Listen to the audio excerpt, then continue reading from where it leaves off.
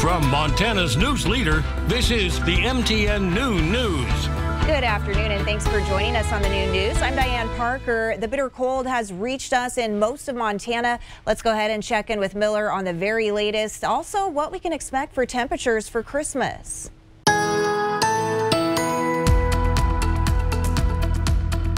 Welcome to the hump. Happy Wednesday, everybody. Getting closer and closer to the long Christmas weekend. And, you know, winter officially starts this afternoon at 248 but it's been winter the last couple of days. Look at these temperatures today.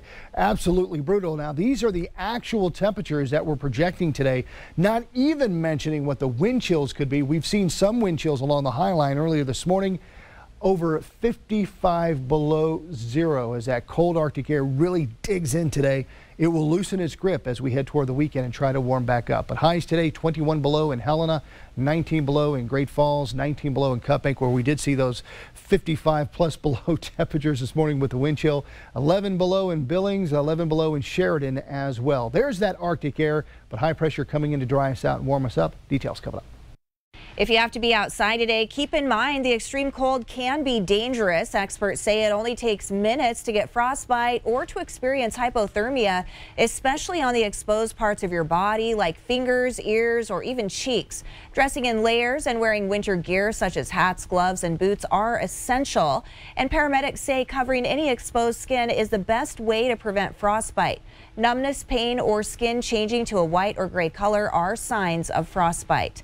Now, we're also learning local hospitals are seeing a rise in patients seeking treatment for being outside in the cold. Officials say they can't keep them if treatment isn't necessary, but social workers will try to find a bed for them somewhere else. Local organizations are doing everything they can to keep people off the streets and out of the cold. The Yellowstone County Continuum of Care is opening an emergency shelter at the First Congregational Church. It is available for up to 31 people every night through April 30th. Of course, the Montana Rescue Mission is an option for folks seeking shelter in Billings. Earlier this week, 100 men and almost 60 women stayed there overnight. In Bozeman, the homeless center is currently in code blue because of the low temperatures.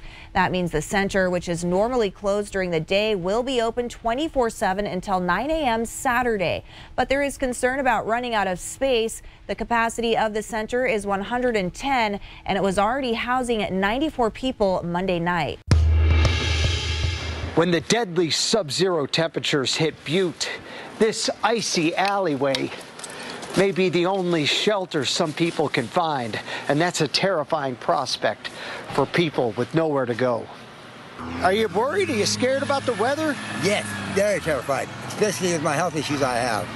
So I'm scared if I have seizures, a seizure out here, no one's going to be able to help me. My wife has seizures too.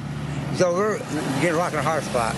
The Butte Rescue Mission shelter on East Platinum Street will have its emergency shelter open throughout the cold weather, which is expected to drop to 37 below on December 21st.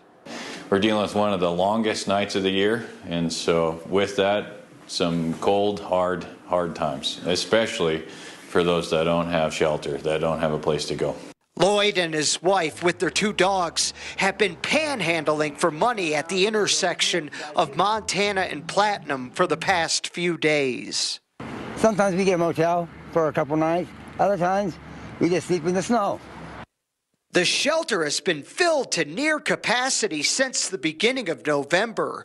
Shelter officials say they have plenty of blankets, jackets, and warm clothing to give away to anyone who needs them ultimately keep people alive. You know, we're saving lives here, giving out the resources that we have. Police will be looking for anyone stranded out in the cold. Uh, all those folks that uh, are homeless and uh, may not have a place to go, it's, it's critical that they get to a place and uh, make sure that they're safe because, uh, like I said, you can be hypothermic and not even realize it, and, and then, you know, then, it, then things go downhill very quickly. Lloyd hopes he can find a place to go too. I'm trying to get myself, my wife and I out of the streets as quick as I possibly can. In Butte, John Emeigh, MTN News. Happening this week, lawmakers will vote on whether to approve a $1.7 trillion budget bill to fund the government in 2023. We're learning it could have a major impact on disaster relief efforts in Montana. $916 million are set aside for flood relief efforts in Yellowstone National Park. We'll be following the vote in the nation's capital this week. And now to the courtroom where a Lame Deer pastor is pleading not guilty to felony sexual abuse charges.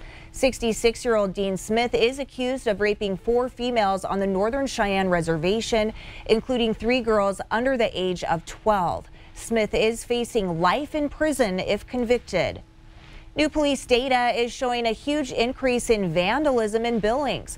Vehicle vandalisms jumped from 423 in 2021 to 487 this year. The rise in home vandalism is even higher, a 25% increase from 199 to 248. Schools were targeted 21 times. Well, a Montana icon is celebrating a birthday this week. 37 years ago, Our Lady of the Rockies began her watch over Butte. Now, if you've been to the mining city, you've seen her perched on the Continental Divide. It took five years and hundreds of volunteers to transport the lady piece by piece to the top of the East Ridge. The last piece of her head, it was flown in by helicopter. The 90 foot statue is the fourth largest in the United States. And that's a look at some of the day's top headlines.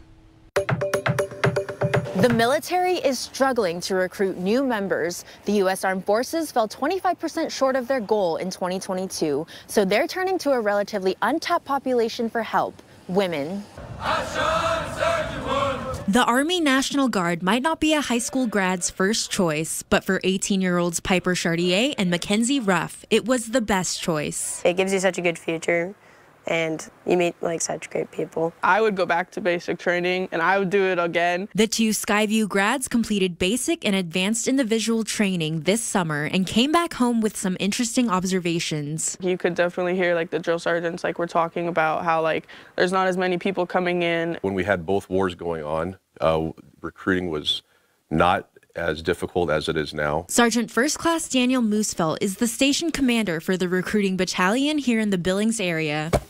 The recruits he looks for have to be physically, morally, and mentally qualified. With the rise in prescription medication and drug use and uh, physical limitations and disabilities, that'll negate more than half of the people we talked to right off the bat. He says that despite difficulties in recruitment, there has been one surprising change a 60% female enlistment rate. We're seeing more females joining the National Guard because we are more educationally focused and we're the only outfit that has that tuition waiver. Chartier is following in her sister Skylar's footsteps as soldier, ROTC cadet, and MSU Bobcat. I'm going to Montana State for college here in January, and I'm still going to be in the National Guard and I'm also doing ROTC. And Skylar's seen firsthand how women are stepping up in the service. In my battalion, there are a higher percentage of female leadership which gives these two hope for the future i think it was one of like the best decisions that i could have made in billings alina howder mtn news